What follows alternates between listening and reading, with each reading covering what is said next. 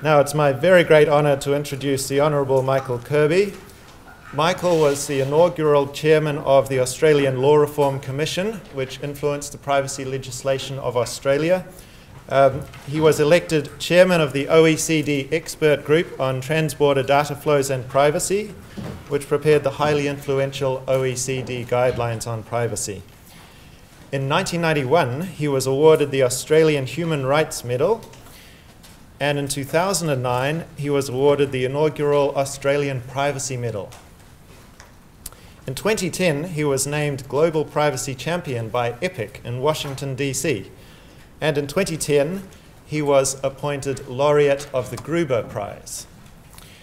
He has served as a Justice of the High Court of Australia from 1996 to 2009, and more recently, he has served the United Nations as, as chair of the Human Rights Committee's Commission of Inquiry on North Korea from 2013 to 2014, and more recently as a member of the Secretary General's High Level Panel on Access to Essential Medicines from 2015.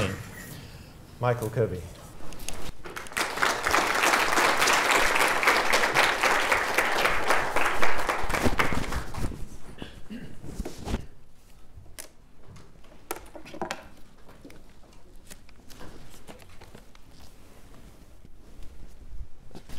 Very much, uh, Alan, and thank you all for having me here.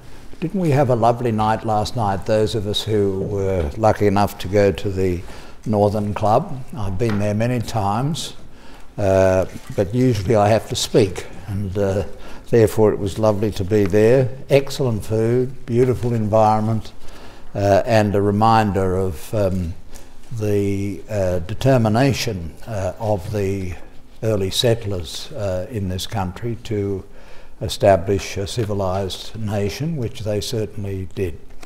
Uh, koutou, tēnā koutou katoa.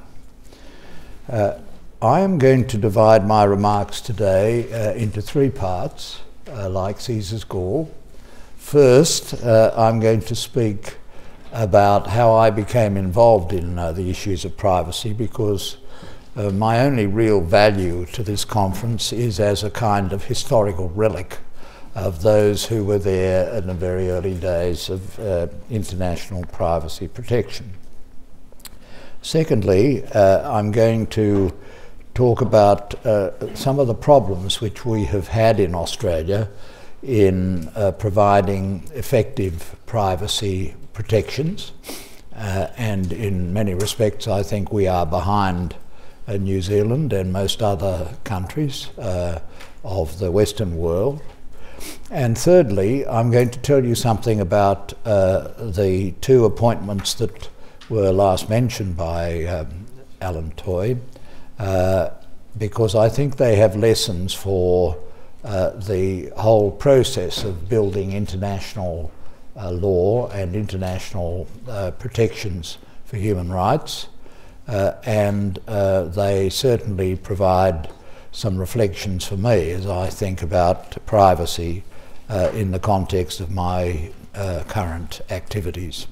I go to Washington DC tomorrow um, for a meeting uh, on North Korea uh, and it is going to be related to providing opportunities for information to the new administration uh, in Washington because it's going to be quite a different uh, ball game, and therefore um, uh, that will be preoccupying me uh, when I go there. Um, I knew no more about privacy or, or such law as existed uh, than most people when I was appointed the chair of the Australian Law Reform Commission in 1975.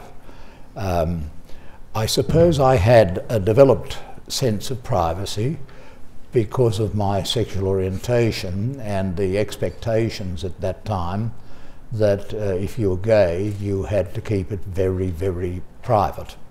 Uh, and uh, it was expected that you would not uh, tell and others would not ask. That was the way of those days.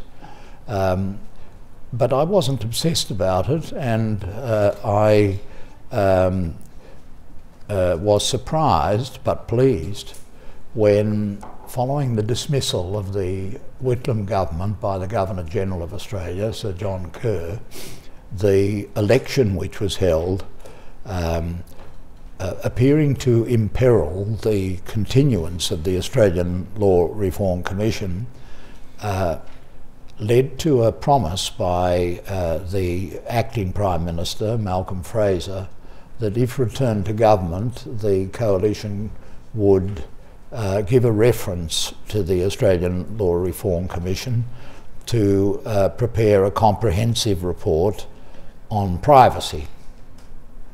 That was good news because, uh, first of all, uh, that was a, a, very relevant issue as we were then approaching 1984. Uh, and secondly, it was an indication that despite the change of government, um, that the Australian Law Reform Commission was going to survive, something which hadn't at all been certain at the time. Uh, the uh, election was won by Mr Fraser.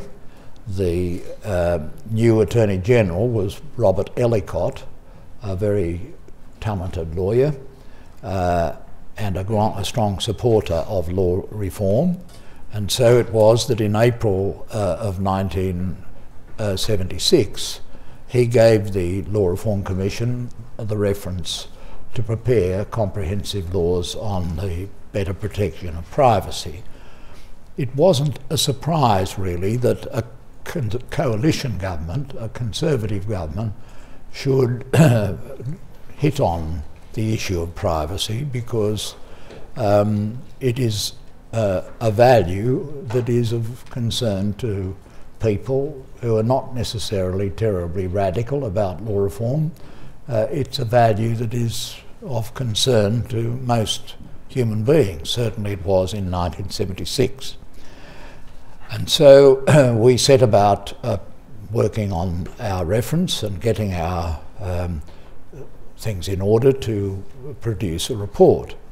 And at that time, the Secretary and Director of Research of the ALRC was um, George Brouwer, a very experienced uh, federal public servant, and he uh, went to a conference in Vienna on privacy protection as it was developing in Europe.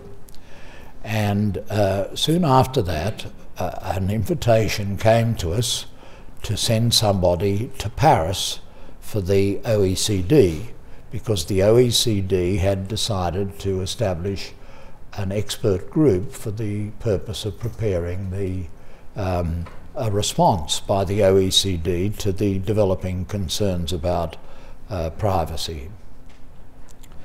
Uh, the OECD uh, was and is uh, essentially the rich countries club, uh, and uh, it um, is intercontinental in its character, but its fundamental core membership was Western Europe and North America, onto which was tacked Australia, New Zealand, and Japan in those days. It's expanded significantly since then, but that was basically what it was democratic, parliamentary, or electoral democracies. Uh, and um, the concern that had arisen in the OECD um, was uh, on the part of the Europeans that um, something should be done to ensure that as they prepared their laws on transborder data flows, that uh, the uh, Anglophone countries uh, beyond Europe uh, should have in place laws that would protect privacy uh, so that the growing body of di digitised uh, personal information could be safely exchanged.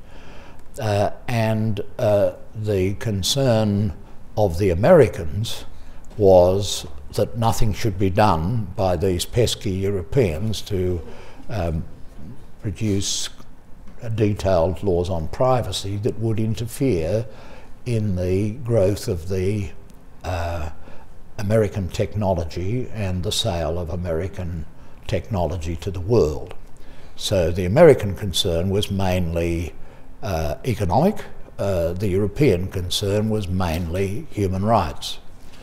That, I think, is probably just a reflection of the experience of those two areas of the world. For the Americans, it was uh, protecting their patch. For the Europeans, it was the vivid recollections which were still then in everybody's mind, uh, usually of personal experience of the war, uh, of the Manila folders, of the occupying power, and of the misuse of information. For the Europeans, this was not theoretical, this was something which was uh, practical uh, and uh, urgent and necessary. So when the group met in Paris, we met in the facilities of the OECD. Uh, those facilities are just across the river from the Tour Eiffel uh, in a chateau, uh, Chateau de la Muette, uh, and in a large and rather ugly building that adjoins the chateau. On the days where we were being rewarded for working hard on our expert group, we were allowed into the chateau and we sat in a chandeliered room. Uh, and on the days uh, where we were not regarded as having worked hard enough, we were just put into the ugly um, bastion that adjoined it. Um, at the first meeting, a dispute, of which there were many during the course of the deliberations, broke out as to who should be the chair. Uh, and um, it was, I think, assumed that in the normal way a Nordic would become the chair. And there were some very impressive Nordic candidates. Jon Bing, who was one of the early um, toilers in this field at the University of Oslo, a friend of uh, Professor Byfield, who's here, uh, and um, Jan Freese, the Privacy Commissioner, I think the first Privacy Commissioner of the world from Sweden. Uh, and uh, in the end, however, um, I think largely as a result of the American insistence, I was elected the chair. And so uh, I then had my first experience in chairing an international body. I've chaired many international bodies since, uh, but I look back on the task at the OECD with great uh, um, pleasure because it was a, a, wonderful opportunity. I was 38 at the time. Uh, most of those who were there were older, uh, and um, my job was to try to get some um, concurrence in the outlook of the Americans and the Europeans. Uh, and this I did by adopting a very strict um, rule for the meetings of the expert group, um, always beginning on time. I told them that in Australia, Her Majesty's judges may be wrong, but they're always punctual. Uh, they soon got used to that, uh, and where necessary, running overtime, something the French did not really approve of at all. and um, uh, uh eventually, they uh, uh, adopted a, a, principle of just walking out at the time that, or shortly after time was called. Uh, and uh, so I had to stop the meetings and not go over time. But uh, we got everything we could out of the meetings. We didn't have laptops tops and uh, other devices at that time, and therefore I had to go back to the, my little hotel room at the end of the day and print in my very neatest printing the minutes of the meeting and the, um, the decisions that had been made. They had never seen a chairperson who did that. Most chairpersons for the United Nations and for the OECD simply sat silently and left it to the Secretariat to run the show. That wasn't my style at all. And the, uh, The, every day we worked hard and the, the decisions of the day before were on the table and that helped to move the thing along.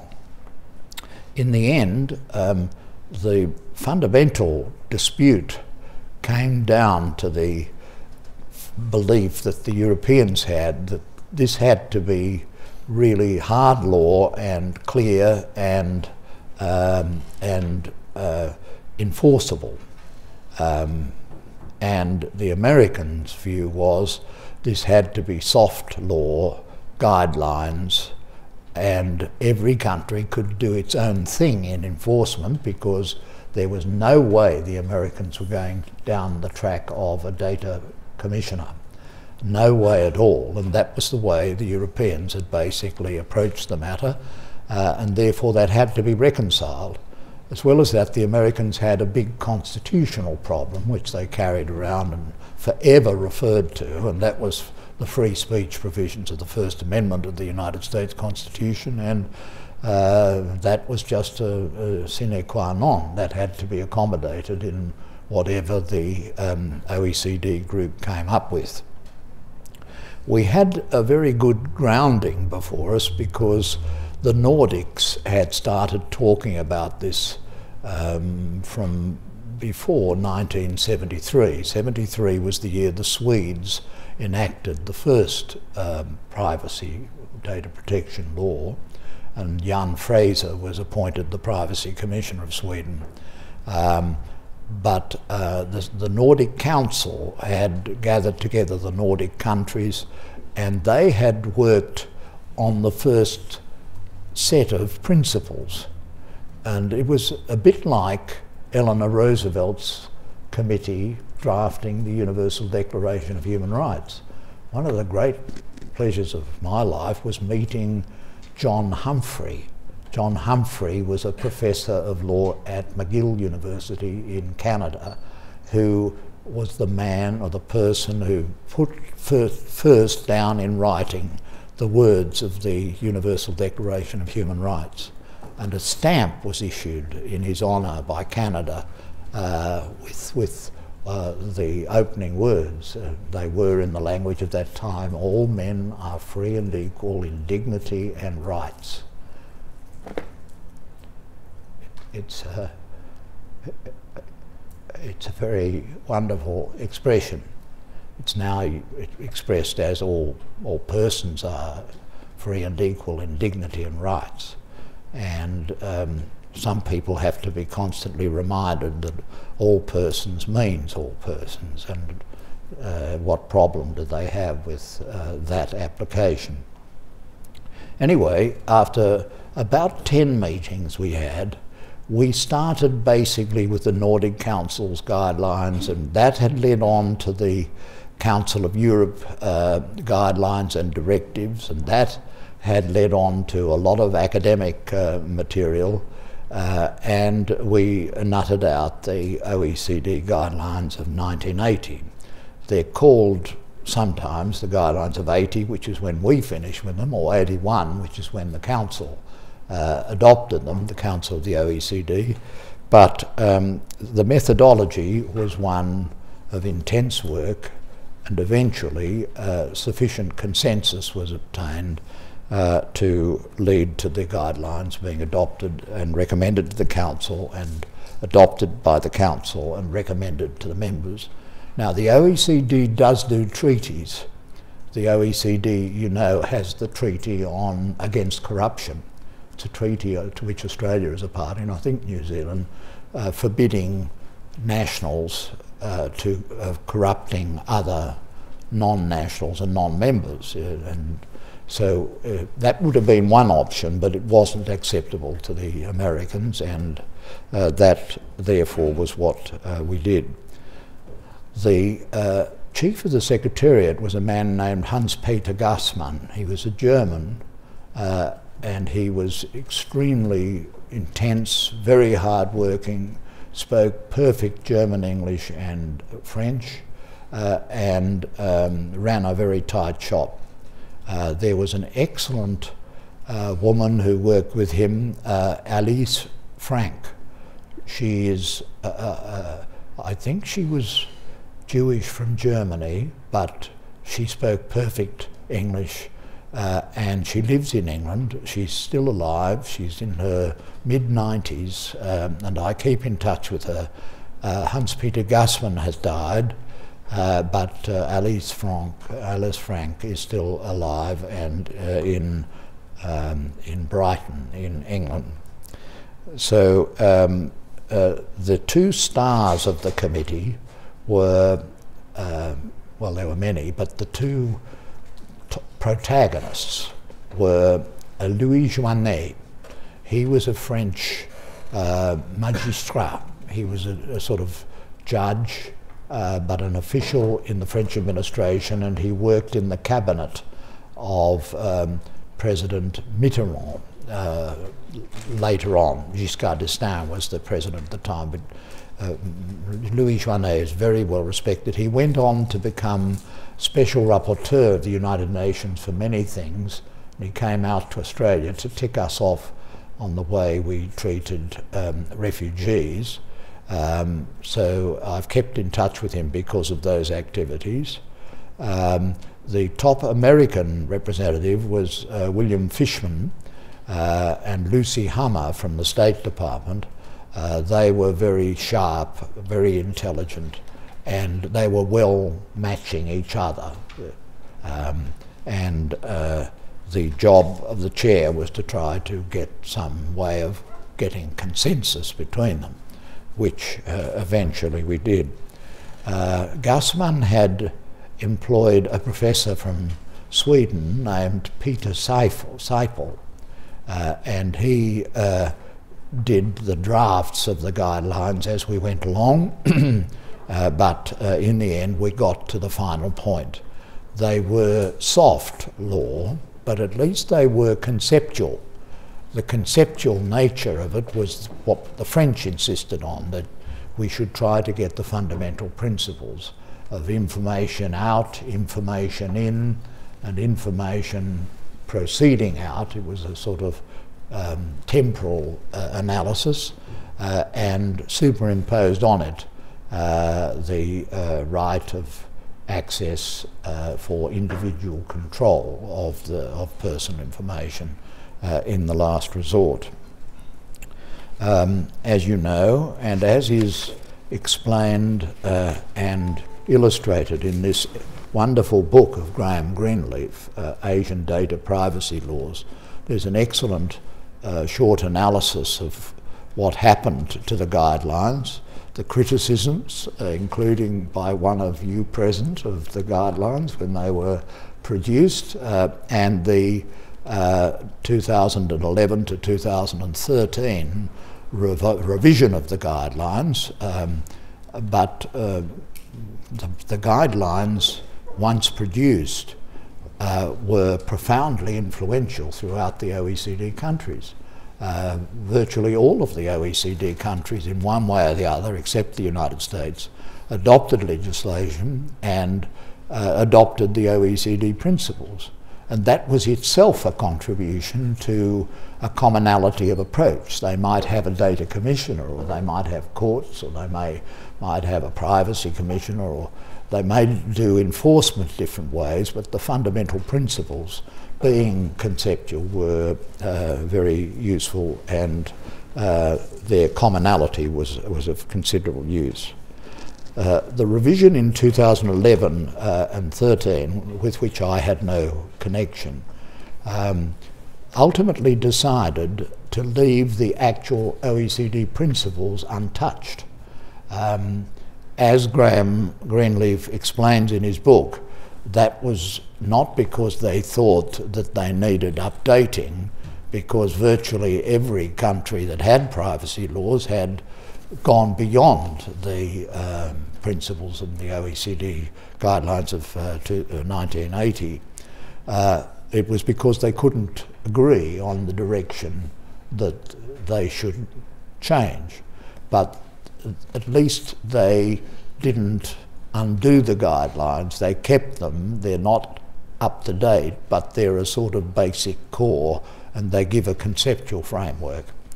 Uh, the area that was changed was the international principles and uh, for accountability, and an attempt was made to enhance those principles and to allow non-member states to uh, accede to or agree to be bound by the guidelines, and so that was an outreach by the OECD. I've now worked for many, many UN agencies. If, you, if you're a good chair, and being a judge is a very good experience for being a chair because you've got to be, you're in charge, you've got to run it, and there's no messing around. And, um, and our tradition is, is very good for that. But if you're a good chair, the word gets around, and that then leads, one appointment leads to another and to leads to another, and that's how it tends to, to happen. So I'm just mentioning that if, you, if you're interested in international chairmanship, you've got to get your, your oar in, and then once you do that, you, um, you've got to work your guts out, and then you will get other appointments. Now, um, although the OECD principles were adopted for Australia, and although they became uh, an important part in the privacy principles of the 1988 um, Australian Privacy Act, um, the um, follow up uh, has not been satisfactory. And in fact, it shows uh, the untruth of the statement that is constantly and repeatedly said uh, when suggestions are made in Australia that we need a Bill of Rights or a Charter of Rights or an Act for Human Rights or something. Oh, you don't need that. We have Parliament. Parliament can fix everything up. Well, the plain fact of the matter is, unless it's sexy or vote catching or interesting, Parliament just will not do these things, especially if there's a bit of controversy and, as in the issues of privacy, very powerful, opinionated um, opponents. Uh, and so the net result is we haven't uh, done at all well uh, in Australia, and we needed to do a lot because in 1936 there was a decision of the High Court of Australia in the Victoria Park racing uh, course case in which uh, a majority of the High Court of Australia, led by Chief Justice Latham, said perhaps there should be protection, uh, common law protections for the defence of privacy, but they don't exist in our law, and he wasn't inclined to develop it. Um, there was a powerful dissent in that case by Justice Evatt, Justice H.V. Evatt, who later went on to resign his seat in Parliament, became Australian Foreign Minister during the war, and later the President of the General Assembly. He was actually the President at that moment in December 48 when Eleanor Roosevelt and John Humphrey's Universal Declaration of Human Rights was adopted by the General Assembly of the United Nations. Uh, and he contributed to that course. And it contains, uh, as you know, a provision for the protection of privacy, which began the course of the development of the international instruments uh, defending privacy as a fundamental human right. Uh, but um, although uh, the uh, state of New South Wales in 1975 established a privacy commissioner, and although the person appointed to be Privacy Commissioner, Bill Orme, was um, very gifted in using the media and um, and capturing attention and making a lot of noise about privacy and putting privacy on the agenda and awareness and consciousness. Uh, he didn't have many powers. It was basically a complaints mechanism, and he could make recommendations and um, but he didn't have really powers of sanction. Uh, and so we had the common law decision in Victoria Park, and we had uh, nothing uh, much in the statutory uh, realm.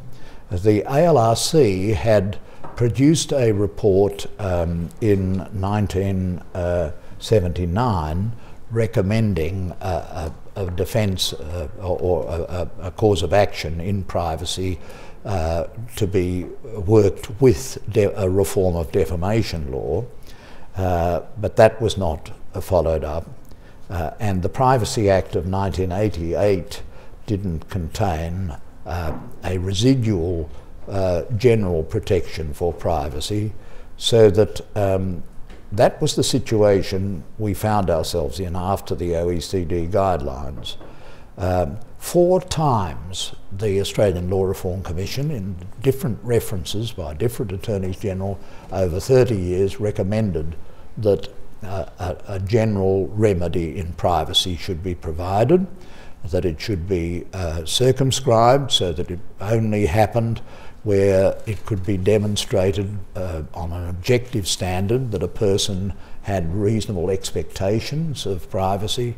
Uh, it uh, was to apply both in respect of protection of uh, the solitude of an individual, but also protection of the private information of the individual. So it wasn't only data protection. Uh, uh, and four times the ALRC recommended it. Uh, in 2009, the New South Wales Law Reform Commission uh, made a similar recommendation. Uh, in 2010, the Victorian Law Reform Commission uh, made a similar recommendation. Uh, when Mr Rudd was briefly the Prime Minister of Australia, he uh, started inquiry and one of his ministers, Brendan O'Connor, did what is very common in Australia. We had the committee on the committee, and he had a committee on the committee and that led to the committee on the committee on the committee uh, investigating whether they could uh, do anything on protection of privacy. Uh, but the net result of it was that nothing was done. 2010, uh, for the fourth time, the ALRC recommended privacy protection, uh, and uh, other states came along to the party. The, the, South Australian Law Reform Institute made the same recommendation. So the law reform bodies were speaking with one voice, but uh, the politicians were undecided. And fundamentally, that was because big media opposed it. Big media opposed it. And uh, I received an email yesterday in Australia, um, which was a, a so-called fact-checked check because a member of the opposition, a, a member of the Labor Party opposition, had said Australia has one of the most um, concentrated um, medias in the world in terms of ownership. And the question was, was that accurate? And then they go through analysing all the countries' media. Uh, China, uh, you may not be surprised, comes out at the top with 100% of media controlled by um, the, uh, the central government. Uh, Egypt isn't far down, and then there are one or two others, and then Australia is, I think, about the seventh most concentrated media. They are very powerful and they are very opposed to anything that interferes with their capacity to invade, to defame, uh, and uh, to uh, do what they like and judge whether they have done wrong. 2016, the New South Wales Parliamentary Committee came forward and said, well, let's do it alone in New South Wales. But the government of New South Wales um, decided that that would not be a good idea, that it has to be done nationally, uh, although they did indicate that they would introduce laws on uh, so-called um, revenge um, sex sexting, uh, and uh, that particular matter appears to have been hived off for the bits and pieces approach to reform of the law of privacy. So that is where we are in Australia. Delay by the federal government and parliament, timidity by the state uh, legislators, uh, rabid opposition by uh, the media and other interests, uh, timidity on the part of the courts, and a general feeling that it's very difficult to do anything in this area because of the rapid development of the technology and uh, the uh, development of the technology um, and the uh, concurrence of people, particularly young people, particularly in social networks, and particularly in sexting, uh, texting sexual images. Uh, apparently, uh, a survey by the Burnet Institute uh, in Melbourne found that 80% of young males in Australia had engaged in sexting and didn't see anything wrong with it.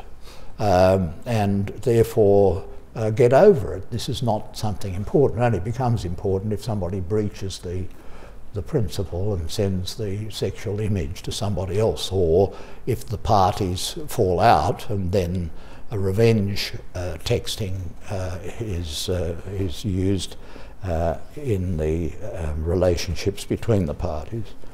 But um, that uh, is uh, essentially where we are in Australia, and it's not a good place to be, and it's not a good place to be if you are looking for long-term protections and institutional protections for privacy in an age of so much technological change. Now the third point uh, relates to uh, international activities.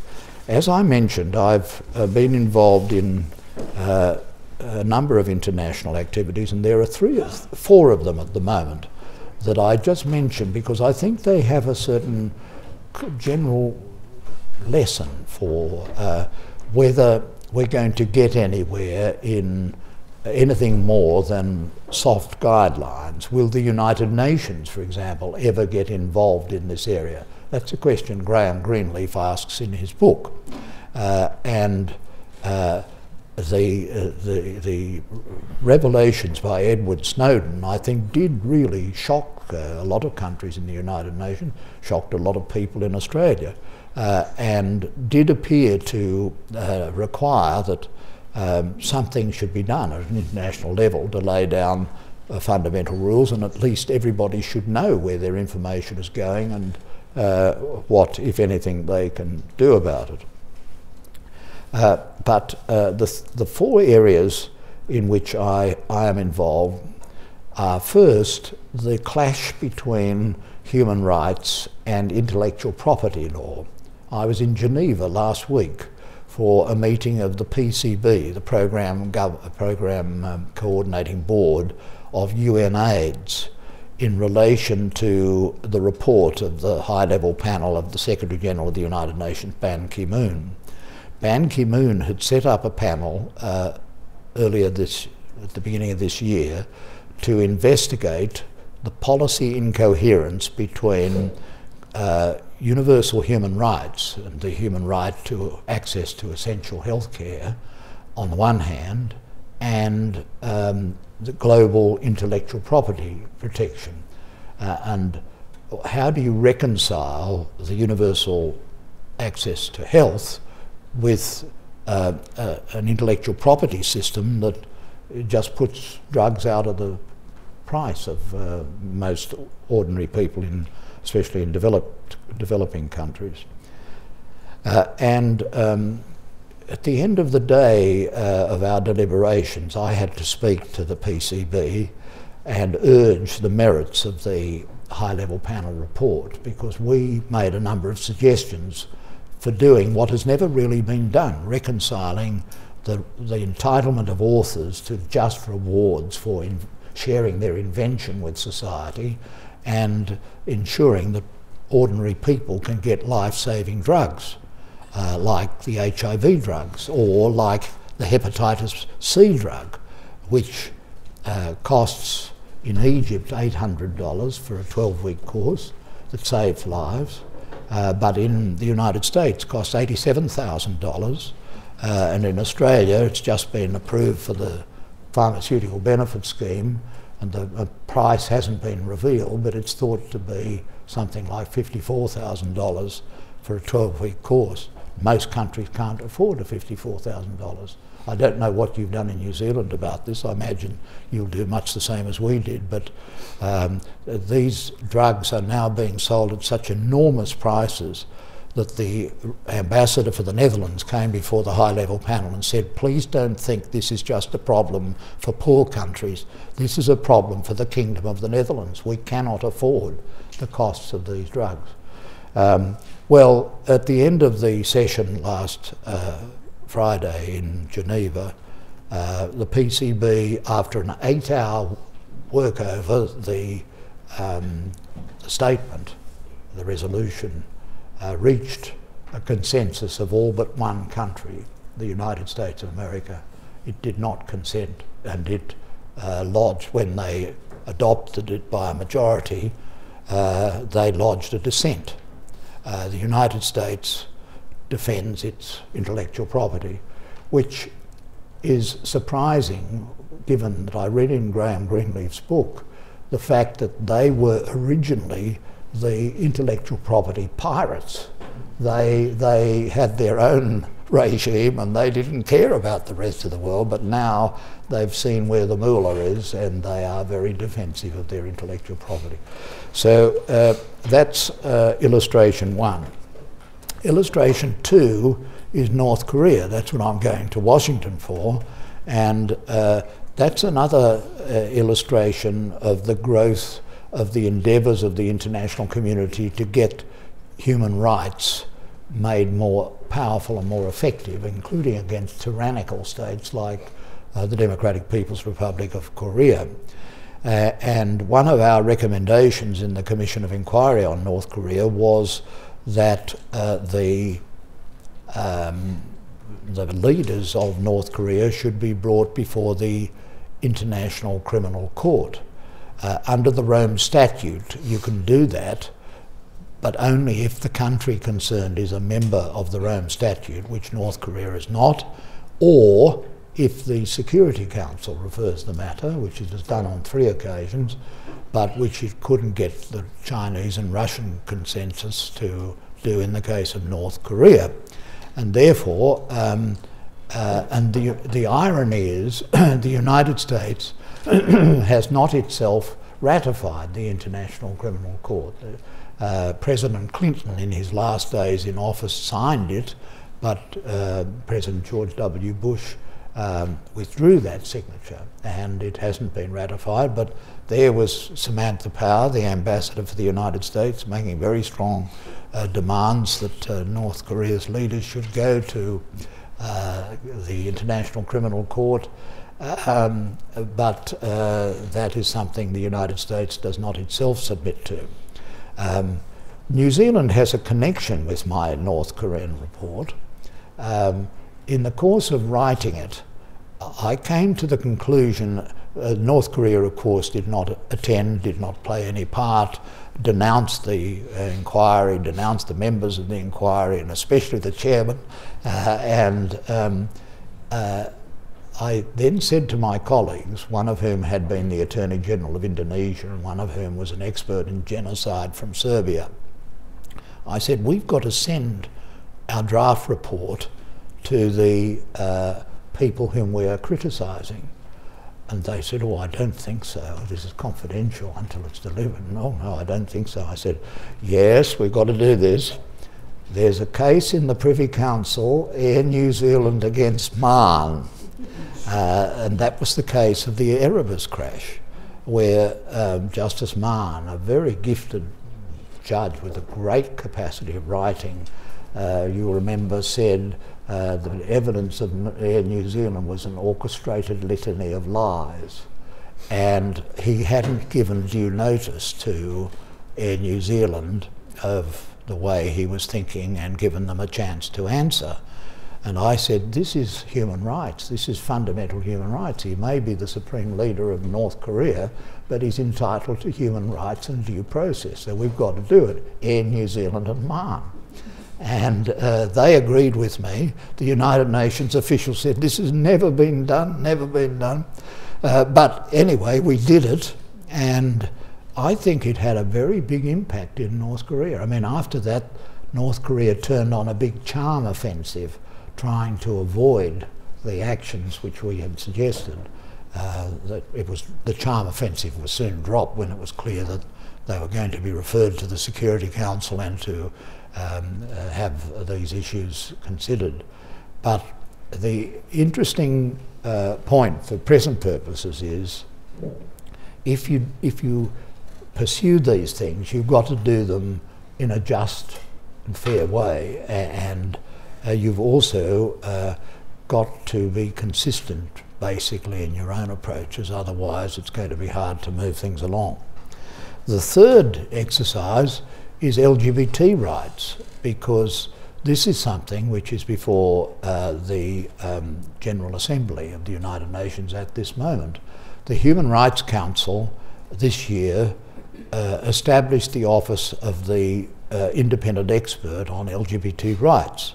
That was a very important step. I have to say, before he demits office, Ban Ki moon, a, a, a, cautious bureaucratic official from uh, South Korea, uh, has been wonderful on this. It's he who says, What is your problem with all persons are free and, uh, and equal in dignity and rights? Uh, all persons means all persons. Anyway, um, to the African group, uh, who represent almost all of the countries of Africa, all persons doesn't include LGBT people. And so uh, they moved a motion that uh, the, uh, the, there should be a stop order on the work of the independent experts on LGBT rights. Uh, that went to a vote in the General Assembly two weeks ago, and the General Assembly voted by 84 to 79 with 15 abstentions uh, to continue the mandate. But I heard when I was in um, Geneva last week that uh, they're mustering for a second attempt to stop it. Uh, and so moving things along where there are sensitive issues and particularly cultural issues and matters of difference in different cultures and different countries uh, is difficult. And though there would be strong support um, in many African, Caribbean, and developing countries for action on privacy in the United Nations, there would also be a lot of opposition, as I saw last week in Geneva, from wealthy countries uh, who uh, like to have it um, decided by those who are accused. And the final uh, thing is in privacy. The OECD guidelines uh, have been reviewed. There's been some improvement, but whether there will be an international initiative, and in particular one organised by the United Nations, uh, is not clear. There is, as you know, a mandate holder, a special rapporteur on privacy concerns of the Human Rights Council, um, and it wouldn't be hard to, for that council to take up the issue of privacy because it's there in black and white in the uh, Universal Declaration and in the ICCPR. But whether that will be uh, done and what would be its outcome uh, remains to be seen. So um, here I am. Uh, all of you are experts in an area of law that has moved on. The caravan has kept moving and it's kept finding new issues. I think it's absolutely wonderful that this group brings together people from our region uh, and that Graham has done this book and that we are not just talking to ourselves but talking to countries in the region and that there are real issues including issues in those countries which are of concern to their citizens too. Uh, privacy is a fundamental human right. It's there in the great instruments and it's therefore appropriate that uh, this should be a global, uh, regional and national concern. We in Australia have really not made much headway and uh, there is work to be done. So thank you for having me and now we have about 10 minutes for questions. But first there'll be a big round of applause for an old, ancient, historical character who's been brought out of mothballs to say a few words to those who are in the field working in the here and now.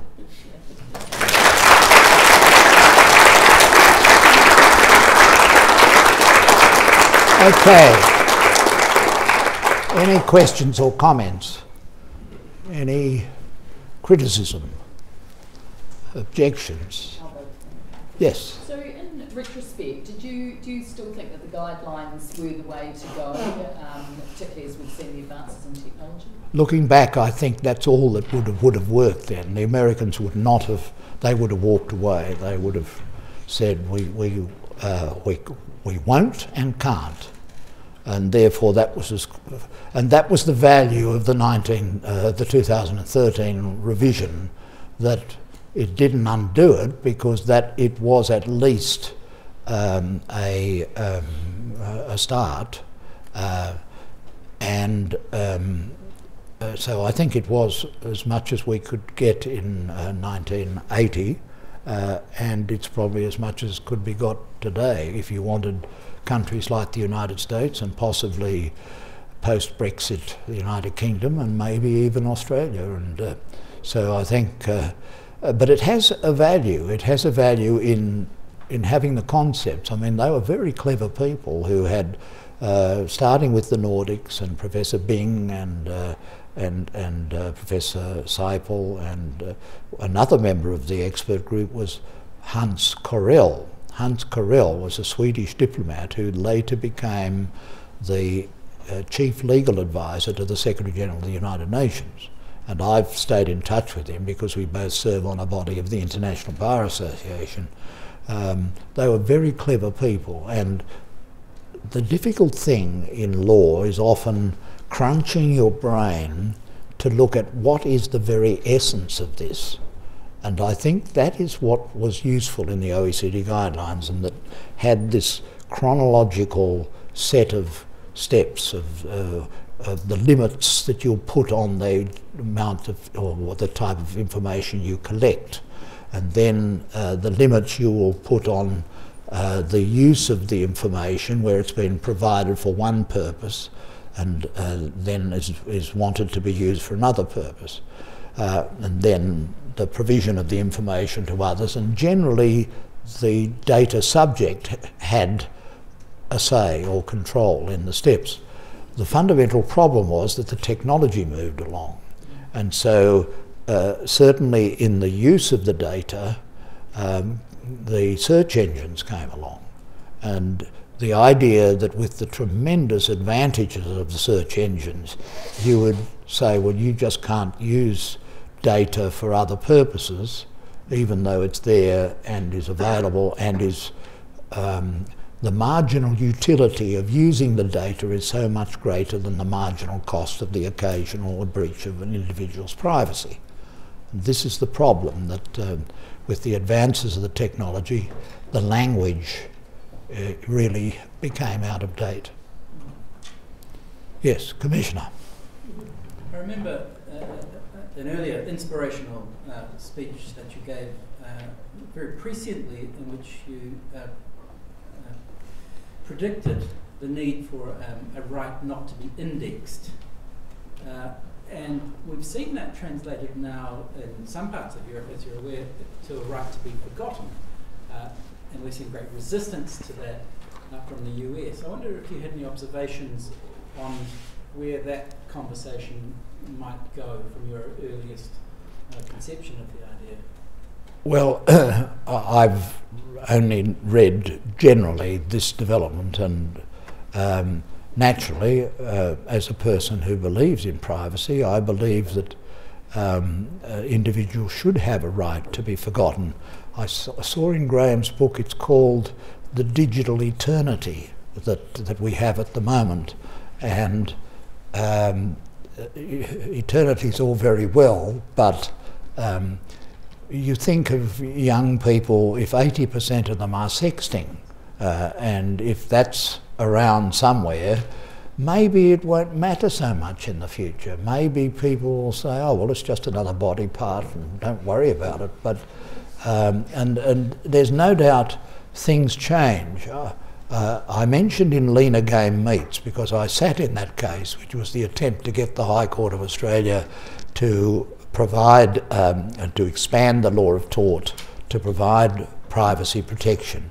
But it was an attempt by a corporation, and although it was before Citizens United, which was the big case in the United States, which has been a very bad decision for democracy in the United States, I intuitively felt that you should be very careful about expanding privacy rights to corporations or to government official government authorities or government institutions. Uh, so I, I, I said it's not, this is not the suitable case to consider it. but um, uh, uh, generally speaking, I think there ought to be a, a, a right to have things forgotten and, and uh, that the individual should have a say over that, though of course it has to be balanced against any public interest in keeping it because, for example, uh, in the courts you see so-called cold cases, cases which uh, new ev evidence comes in and they're dusted up and then getting access to very ancient material, perhaps under judicial or other warrant, uh, would be the way to strike the balance. But fundamentally, and in most cases, the individual should have that power. And in the world of sexting and other huge megadata of emails, um, there there will be needs for this. Graham had a question. Graham, you, did you have your hand up, Graham? Uh, I, yeah, I, I did. Uh, Michael, you mentioned uh, quite a lot of interesting stuff about individuals who influenced the OECD guidelines development. One of the things that intrigues me is there were you know, half a dozen pieces of legislation, data privacy legislation in existence around the world by the time your committee was working. I wonder if, you know, from this distance, any of those pieces of legislation stand out to you as having influenced the content of the guidelines and, and if I could also ask, what influence did the committee working on the Council of Europe um, uh, convention at the same time have on the work of your committee? Well, there's no doubt that the Swedish uh, Act was influential because we had sitting at the table Jan Freese, and he was the commissioner of the Swedish Act, and and he would say, well, how we would deal with this, and he would give instances and give the text, and we had the English translation of the text, but the Americans uh, couldn't stand the idea of a, of a data commissioner. They said that's just not the way we do things. We go to courts, which are independent. And of course, courts are independent, but they're very expensive, and, uh, that didn't seem to trouble them. Of course, they'd have a different costs rule in the United States generally each party has to pay its own costs and they regard the uh, our rule that the winner gets their costs we regard that as an indemnity principle. If you've been put to the trouble of having to assert your rights and you win, you shouldn't have to be out of pocket. But the Americans say that's a burden on the access to the courts. And um, so it was just a very fundamental difference. The Council of Europe was a great help. I went to a number of meetings at the Council of Europe in Strasbourg. There was a, a fantastic official, Frits Hondius, uh, who was their um, guru on privacy, and he would come to our meetings. So it was Nordic, it was Sweden, Nordic Council, um, the um, Council of Europe, uh, I think there had been uh, early moves in the uh, European Commission, uh, and uh, then there was us in the OECD. But th- they, it was all known and all used, but the Americans, uh, and I had some sympathy for the American view because the, the idea of a, of a data controller and, and is a very, it's, it's also, it's a very a personnel intensive uh, system. And uh, I didn't see that as likely to be very popular in Australia but in fact we've developed our privacy commissioners and you can go to an ombudsman or a privacy commissioner when you never go to a court because is just, just too expensive. Yes. Um, I want to pick up on, on uh, the, the, your answer to the previous question a bit, um, follow up on, on something from your speech. Um, a lot of human rights is aimed at restricting the power of governments, which, of course, historically, particularly governments are um, the most powerful actors in many societies.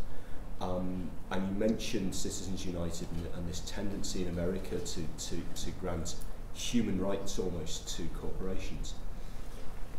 It seems to me, and I, I wonder if you could expand on your thoughts on this, that we are, we are missing the application of human rights obligations on corporations, and in particular in the area of privacy, you know, things like making it much more explicit that human rights obligations on privacy must apply to Google, must apply to Facebook in general, not just where there is a specific court case or a specific piece of legislation like to be forgotten, but in general that these major corporations have enormous power, bigger than many countries. Their, um, uh, their, you know, their total turnover is bigger than the uh, uh, GDP of half the world's countries.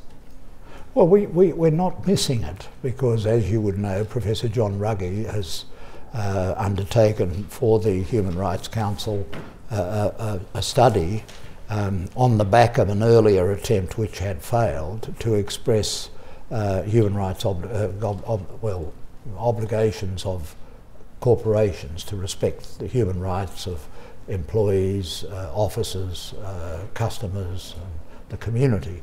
And this, is, this requires a big leap of the mind, especially for us in the Anglo world, because the fundamental principle of the corporation was that the corporation exists to advance the interests of the shareholder, shareholders.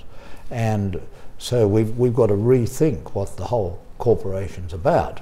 But uh, uh, of course, statutes have frequently put duties on corporations, but Ruggie has, has said that they have fundamental obligations to protect human rights. And this is being increasingly uh, put into various forms of practice. Uh, I had to launch a meeting in Sydney of the Gay Games Federation, and I said that they should study Professor Ruggie's follow up report, which is on FIFA. Uh, because following the terrible revelations, not all that surprising of the corruption in FIFA and, and also the abuse of, uh, of companies uh, that build the stadiums and so on. Uh, he's put out a whole series of principles which FIFA have agreed to.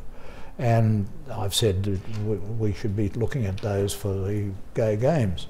But um, so things are moving in that area, and Ruggie is a, a very skillful um, um, proponent of his, his work and he turns up at meetings of the International Bar Association and he's a great advocate for his work and uh, he's just not one of these UN people who writes a report and then leaves it. You know, he's sort of in there a bit like me with my North Korea report. You, you've got to not be content just with a report gathering dust. You've got to make sure that something happens.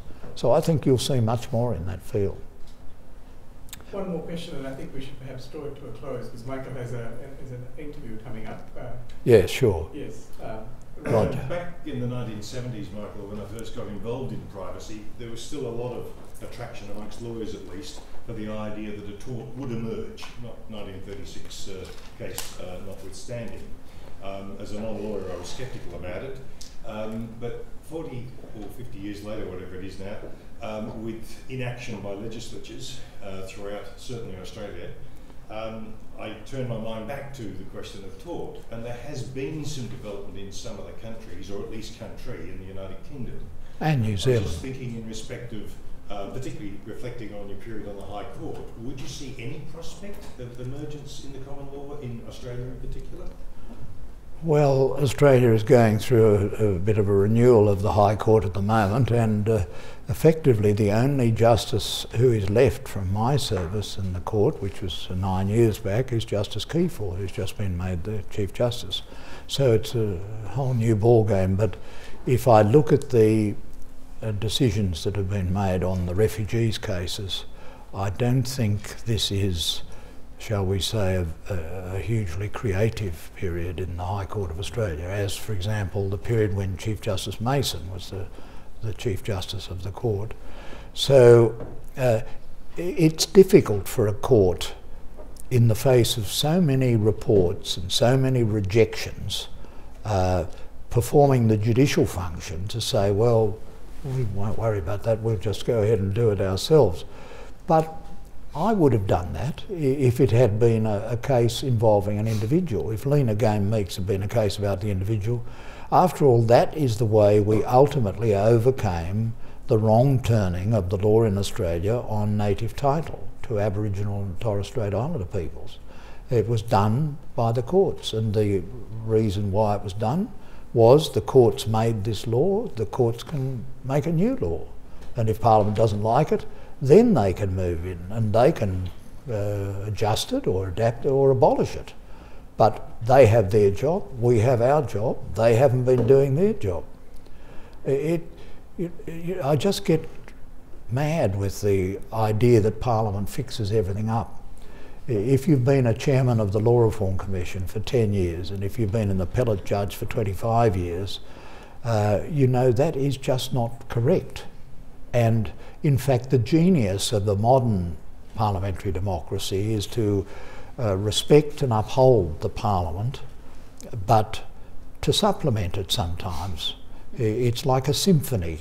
You, you have you have the um, you have the violins and the trumpets and all the thunder and lightning, but you also have those old double basses that are up the back of the orchestra going away and reminding people of the deep underlying principles which have to, uh, can sometimes be forgotten. And you know, I go to the Attorney General's Department in Canberra from time to time, give a talk, and in my day, the Attorney General's Department in Canberra was a, a very small, tight department. Uh, it had a team of absolutely top federal lawyers. They were the best constitutional lawyers in the country because they did it all the time. They slept on their pillow thinking about it. They did it all the time. Now, much of that work has been outsourced to the private sector, and Attorney General's is about seven or ten times bigger than it was when I went there. And they're all there for security, national security, hundreds and hundreds of people. And it's, it's, a, it's the one area that never has a problem getting, getting a lot of money spent on it is national security. And of course, I'm not saying it isn't an issue, uh, but you've got to keep it in proportion. What will our democracy be if we protect our national security but don't keep our laws bright and shining and up to date, protecting the fundamental human rights of the citizens?